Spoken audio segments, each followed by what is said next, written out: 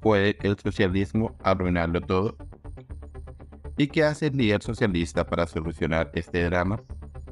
Aprobar de urgencia una supuesta ley de regeneración democrática para callar a los medios hostiles y controlar a los que nadan entre dos aguas, para silenciar cualquier crítica al saqueo del Estado y los negocios de su mujer.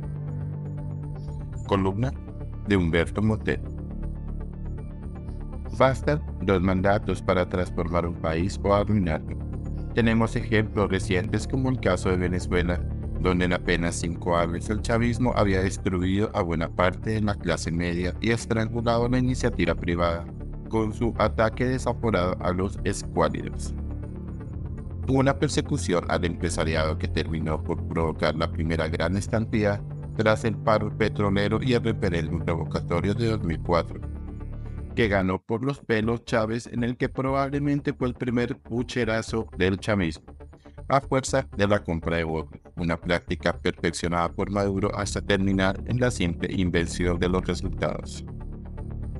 Pero a este lado del Atlántico tenemos otros ejemplos de cómo el socialismo es una trituradora de libertades. Primero, arruina la clase media a fuerza de impuestos que derivan pronto en hiperinflación y desempleo masivo.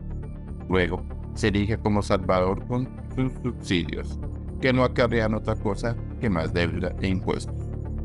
Por supuesto, va tratando de acallar las voces críticas y cercenando a los medios que no baten palmas.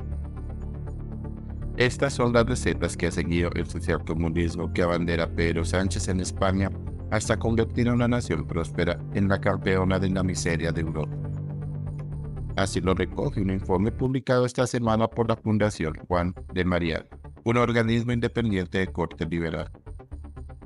El índice de miseria, paro e inflación en Europa subraya que frente a un promedio de 9,5 puntos en la Unión Europea, España alcanzó el resultado de 15,2 puntos, por lo que es lo mismo el país de la Unión Europea con mayores niveles de miseria económica, superando la media comunitaria en un 60%.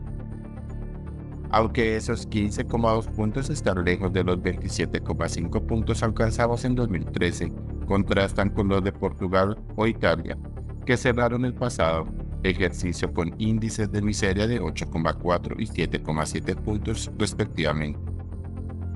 Por su parte, Países Bajos, Bélgica, Dinamarca, Malta y Alemania figuran en las cinco mejores posiciones del ranking, con niveles de miseria económica que resultan un 50% más bajos que los de España.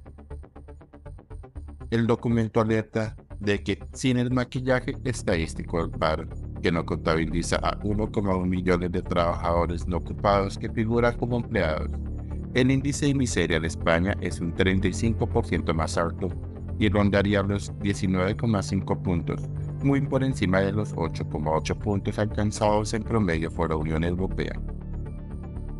El informe explica que 2023 cerró con un paro oficial de 11,7%, pero un paro efectivo del 16,8%. Por tanto, el índice de miseria se estima en 15,2 puntos si nos quedamos con la cifra de desempleo que comunica el Ejecutivo, pero sube en 5,1 puntos si descartamos la contabilidad creativa de los boletines del Ministerio de Trabajo.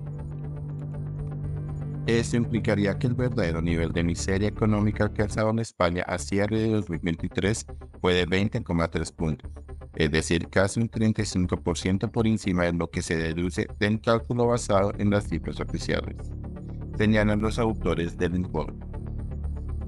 ¿Y qué hace el líder socialista para solucionar este drama? Aprobar de urgencia una supuesta ley de regeneración democrática para callar a los medios hostiles y controlar a los que nadan entre dos aguas, para silenciar cualquier crítica al saqueo del Estado y los negocios de su mujer.